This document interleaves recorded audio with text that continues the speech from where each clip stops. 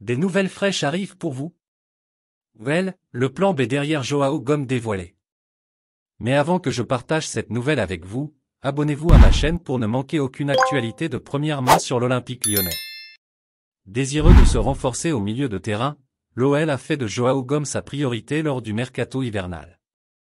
Promis à Wolverhampton il y a encore quelques jours, Joao Gomme est finalement dans le flou en ce qui concerne son avenir.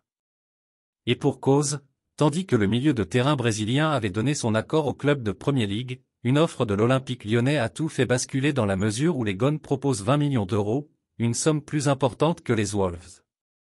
De plus, et c'est un fait assez rare pour être souligné lorsqu'un club français est en bataille avec un club de Premier League, il semblerait que l'offre salariale transmise par l'OL à Joao Gomme est plus élevée que celle de Wolverhampton. L'issue de ce dossier est toutefois indécise dans la mesure où la volonté première du joueur était de rejoindre la Premier League, raison pour laquelle Lyon étudie en parallèle un plan B. Laïdouni plan B de l'OL derrière Joao Gomme.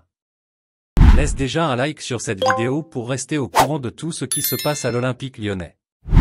Selon les informations de Foot Mercato, Aïssa Laïdouni a été proposé à l'Olympique lyonnais au cours des derniers jours. Milieu de terrain de Ferrand Varro, il a disputé la Coupe du Monde au Qatar avec la Tunisie cet hiver et s'est montré plutôt à son avantage puisqu'il avait par exemple été élu homme du match contre le Danemark. Proposé à l'OL, Laïdouni a un profil qui plaît aux dirigeants lyonnais. Pour l'heure, Bruno Chéroux et Vincent Ponceau n'ont pas donné de réponse aux agents du joueur, car leur volonté est toujours de recruter Joao Gomes. Mais dans le cas où le dossier du milieu brésilien s'avérerait trop compliqué, alors l'Olympique lyonnais ne s'interdit pas de foncer en dernier recours sur Aïssa Laïdouni lors de ce mercato hivernal. Un plan de secours plutôt correct avec un international tunisien de 26 ans disponible à moindre coût dans la mesure où son contrat avec le club hongrois prend fin en juin prochain. Et puis, fan, quelle est ton opinion sur cette nouvelle? Laissez votre commentaire ci-dessous car votre avis est très important pour les gones. Avez-vous aimé le contenu?